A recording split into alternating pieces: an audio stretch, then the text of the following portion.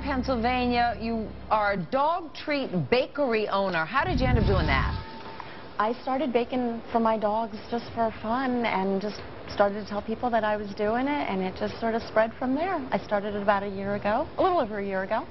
And it's grown quite a bit from there. That's fantastic. So but I bet, like any business, you're probably, times are a little bit on the tough yeah. side right now, so you could use some money. Sure can. And yeah. I got to tell you, you're 15 questions away from a million dollars. You have three lifelines, including Ask the Expert. And today, our expert is the anchor of Good Morning America Weekend Edition, Kate Snow, standing by to help us out.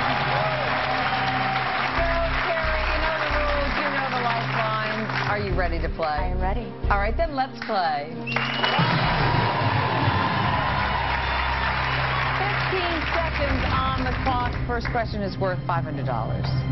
According to an old saying, what kind of animal catches the worm? The early cat, the early bird, the early horse, the CBS Early Show. That would be the early bird final answer.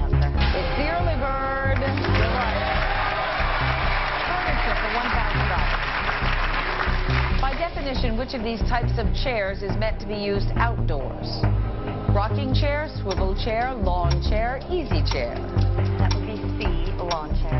Final answer. Goes out on the lawn.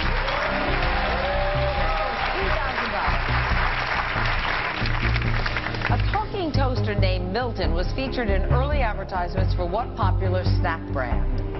Pop-Tarts, Twinkies, Doritos, Oreos. That would be A, Pop-Tarts. Final answer. I love those pop tarts.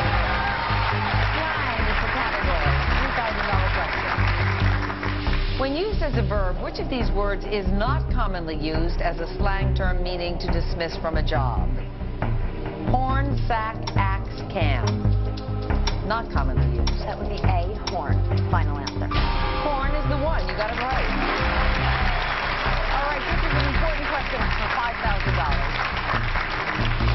If you randomly guess the answer to this multiple choice question, what are the odds you would get it correct?